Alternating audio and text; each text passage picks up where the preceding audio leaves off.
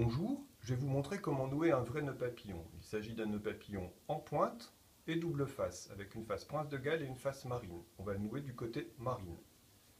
Il faut d'abord régler la longueur du collier, la partie étroite du nœud, de telle sorte qu'elle fasse votre tour de cou plus à peu près 6 cm. Vous réglez sa longueur à l'aide du passant métallique ici. Je place le nœud papillon autour du cou, avec le côté marine apparent et le passant le plus large à gauche. Je fais dépasser le côté droit d'à peu près 6 cm.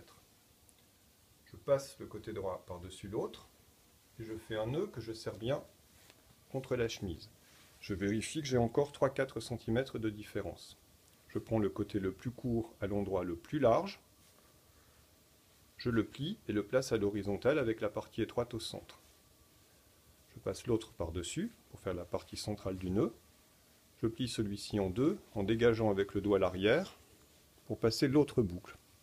Pour préparer l'autre boucle, je prends le nœud papillon à l'endroit le plus large, je glisse un doigt derrière et je l'enroule en le poussant vers le miroir. Je prends cette boucle que je glisse ici, je l'attrape avec les doigts pour la glisser derrière.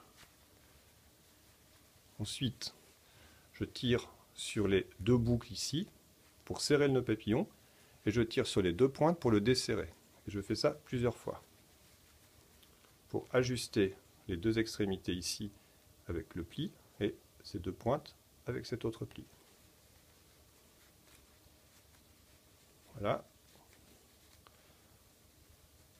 Alors, il se peut que ces extrémités coïncident avec le pli, mais que le nœud papillon ne soit pas symétrique, auquel cas vous le faites coulisser dans le passant pour le rendre symétrique.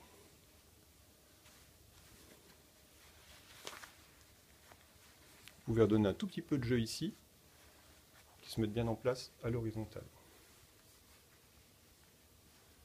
Et voilà,